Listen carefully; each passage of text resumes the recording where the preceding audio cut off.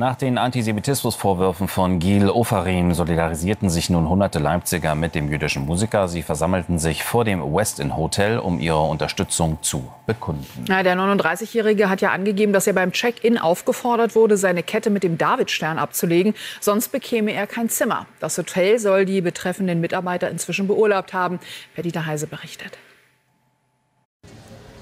Kein Platz für Hass. Mehrere hundert Menschen sind am Abend vor das Westend Hotel in Leipzig gezogen, um ihre Solidarität zu bekunden mit Gel Ofarim. Der Antisemitismus, den der jüdische Musiker aus dem Hotel schildert, hat die Menschen aufgewühlt.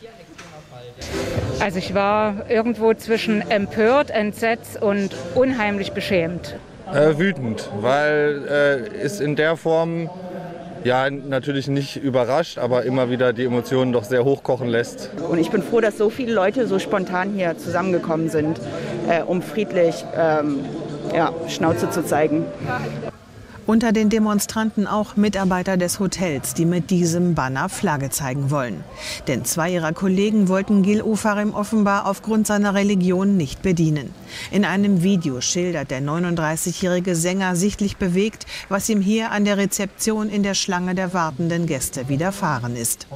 Eine Person nach der anderen wird vorgezogen und ich verstehe nicht warum. Und dann ruft irgendeiner aus der Ecke, packt einen Stern ein. Und dann sagt der Herr B., packen Sie Ihren Stern ein. Und dann sagt er, wenn ich den jetzt einpacke, darf ich einchecken.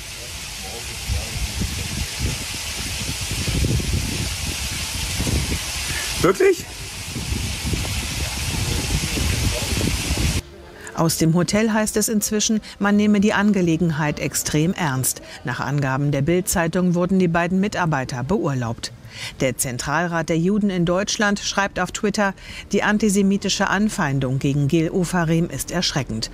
Und CDU-Generalsekretär Paul Ziemiak postet, steh auf gegen Antisemitismus und Judenhass, Solidarität mit Gil Ofarim. Der stellvertretende FDP-Bundesvorsitzende Johannes Vogel beschreibt den Vorgang als ungeheuerlich und unerträglich und ergänzt, was das bei Jüdinnen und Juden auslöst, kann ich mir nur schwer vorstellen. Gil Ofarim, Sohn des in Israel geborenen Sängers Abi Ofarim, hat sich als deutscher Rocksänger, Schauspieler und Moderator einen Namen gemacht, war zu Dreharbeiten in Leipzig.